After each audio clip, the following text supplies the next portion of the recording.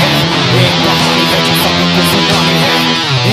भी तो मैंने ही मिटानी है तुमको क्या पता मैंने कहीं